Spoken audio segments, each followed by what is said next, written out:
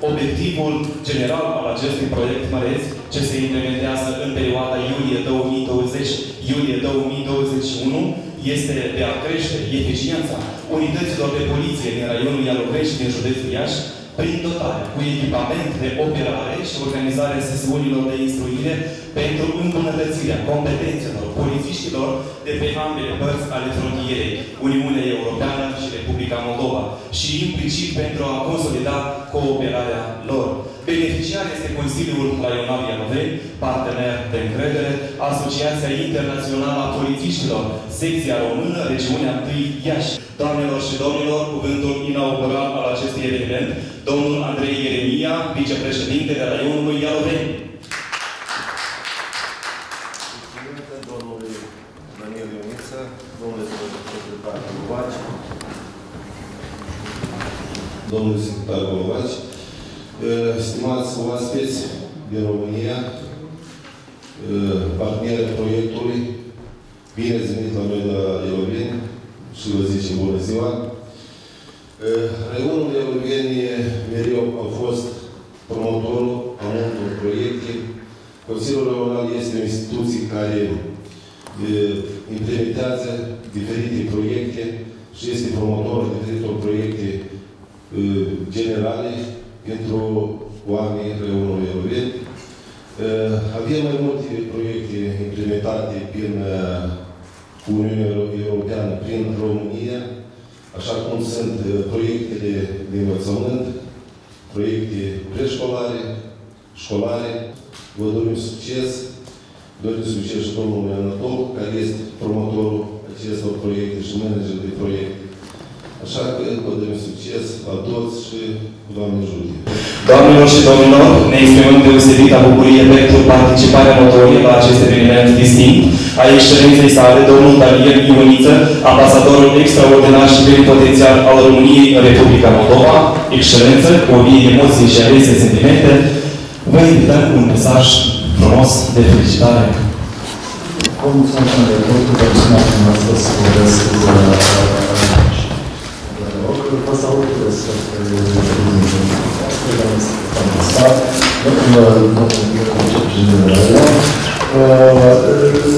Domnilor polițiști din România și în general din România, bine ați venit în România.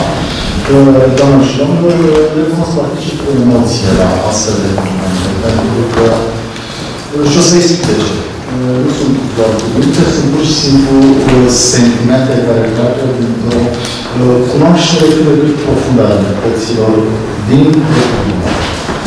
Se spune că din geometria ideilor s-a născut lumea. Eu cred că din astfel de proiecte de interacțiune între specialiști de pe cele două maluri ale produsului, se pot naște competențe. Competențe care ajută până la urmă ca noi cetățenii să avem o viață mai bună. Ne ajută ca noi cetățenii să avem încredere în autorități, vă ajută de noastră cei care sunteți de, de, de partea legii să comunicați mai bine cu cei pe care, în slujba celor care sunteți în slujba cetățenilor, și ajută relațiile dintre România și Republica Moldova să se extindă, să se consolideze, să se aprofundeze și să se dezvolte în continuare. Relațiile noastre sunt unele uh, speciale, cum știm, pentru că sunt bazate pe o comunitate de limbă, de cultură, de istorie, de tradiții. Aceste relații sunt uh, zi de zi substanțiate. Stimate gazdă, stimate conducere, stimați cetățeni, bucur excelență de doamna conservator, simt asta onorat să fiu prezent la poziție de lansare a acestui în mai multe aspecte. În primul rând, vreau să menționez că este acest proiect este primă rândunită de implementarea unui proiect. De administrația publică locală și partenerii noștri din România, privind întărirea capacităților poliției, de deschidere a poliției față de societate, fiind cele aspecte importante care se regăsesc în obiectivul acestui proiect.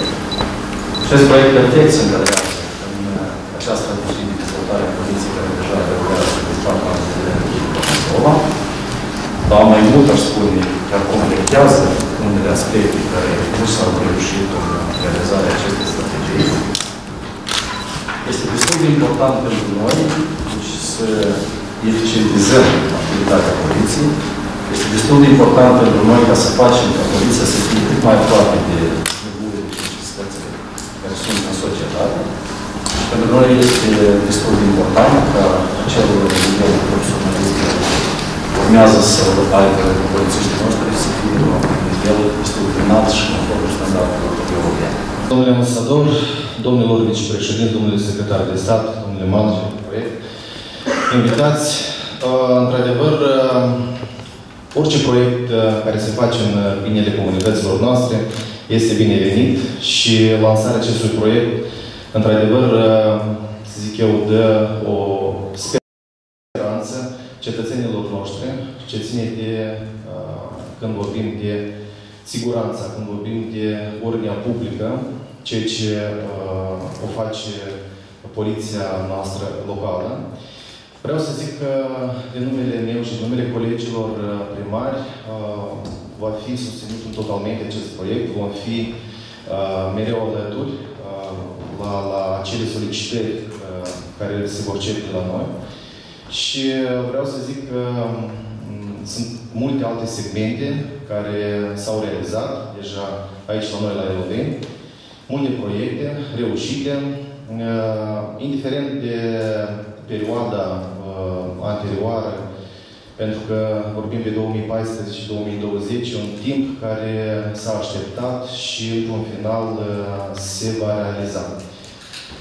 Vreau să zic că noi aducem mulțumiri poporului român pentru acele lucrări, în special grădinițele noastre care au fost uh, reparate, care au fost uh, completate cu, cu utilaje, cu mobiliere, prin uh, proiectul RO 2 și RO 3, Nimșlocit Nimoreni a fost beneficiar la RO 2 și RO 3. Vreau să zic că schimbările care le aduce poporul român aici la noi în Republica Moldova mm, se văd pe față, se văd pe viu și, în special, uh, sunt cetățenii noștri care uh, au spus un mare mulțumesc și uh, la ziua de azi folosesc sau se bucură de acel sprijin care a fost făcut și care continuă să fie astăzi și cred că în viitor. Domnul Anatolie Dimitriu, manager de proiect cu vocație, care a exercitat cu demnitate funcție de președinte a raionului Ialoveni. Excelență, voastră, domnul ambasador, domnul secretar de stat, dragi eh, oaspeți din România, deja parteneri, onorată conducerea Raionului Loveni, onorați oaspeți, consilieri raionali, reprezentanți ai Consiliului Raional, ai Poliției. Desigur că, cum a spus și domnul Excelența sa, domnul ambasador, cu deosebită emoție de fiecare dată suntem aici la Euroveni în fața dumneavoastră atunci când uh, promovăm împreună proiecte, mai ales care sunt susținute de frații noștri din România. Acest uh, proiect își șare un început în 2016-2017, când uh, la fiecare ședință de luni, împreună cu șeful Inspectoratului de Poliție, Pavel Damaschin, venea, domnul președinte, dați împreună să facem ceva pentru Poliția din Aloveni, nu doar proiecte pentru primării, pentru educație. Știu că putem împreună să realizăm. Și, desigur, căutam de fiecare dată unde am putea noi să depunem împreună un efort comun pentru a obține o finanțare pentru poliție. Cel mai mare uh, obstacol, să zicem, era că uh, poliția nu este subordonată Consiliului Raional și de fiecare dată ne uh, ciocneam de așa rezistență, dat fiind faptul că poliția subordonează direct Ministerul de Interne, voi nu puteți aplica pentru poliție, dar eu mă bucur că astăzi suntem aici la ziua când lansăm această conferință unde am obținut împreună cu partenerii de România, împreună cu partenerii de dezvoltare, împreună cu Consiliul Raional Europeni. Au fost susținut proiectul de consilierii raionali, de uh, conducerea care a exercitat mandatul de președinte de raion după mine, după ce am plecat. Totalmente a fost susținut de toți factorii decizie și astăzi suntem împreună la ziua când lansăm acest proiect. Acest proiect uh, este de o importanță majoră pentru beneficiarul final. Este vorba despre cetățeanul raionului Alovei. Sigur că noi putem să vorbim mult, începând de la Declarația Universală a Drepturilor Omului proclamată și adoptată în anul 1948 de către Adunarea Generală a Organizației Națiunilor Unite, în articolul 3 spune că orice persoană are dreptul la viață, libertate și securitate. Drept fundamente, drepturi fundamentale sunt garantate la nivel național de Constituția Națională, fie că este în vorba în România sau în Republica Moldova. Declarația Universală a Drepturilor Omului rămâne la fel de relevantă și astăzi. Drepturile fundamentale ale Uniunii Europene, care au fost anume adoptată în 2000 și obligatorie în Uniunea Europeană din 2009 pentru stat, toate statele UE și cartea, carta care e europeană se aplică și Guvernul Național atunci când pun în aplicare legislația UE, și anume când vorbim despre securitatea cetățeanului. Pornind de la aceste prevederi, a fost și conceput proiectul Poduri pentru creșterea încrederii între poliție și cetățenii Raionului Loveni și județul Iași. Ne întreba acum mass media, de ce poduri? Noi, Consiliul Regional, am hotărât să fim anume acel pod, împreună cu cei din județul Iași, anume acel pod care să unim poliția, inspectorat de poliție din Ialoveni, polițiștii din Ialoveni cu polițiștii din Iași.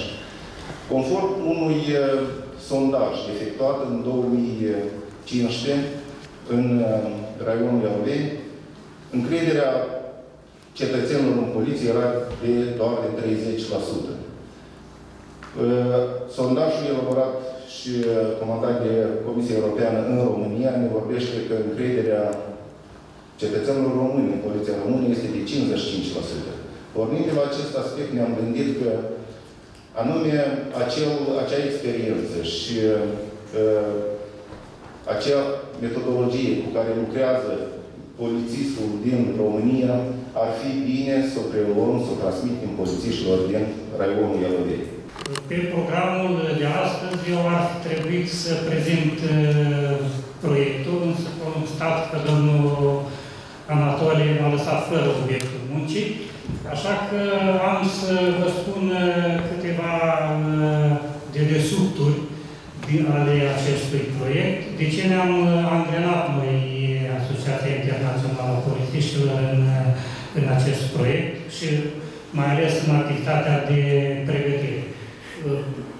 Noi, ca polițiști, nu avem neapărat vocație de profesor didactic și nici nu ne-am propus ca activitatea noastră să se desfășoare în sensul unei școli.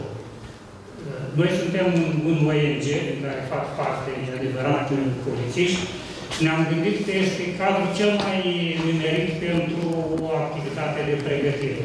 Vom păstra rigoarea și disciplina specifică instituției, dar vom înlătura barierele de comunicare care, vrând nevrând, există în instituțiile noastre.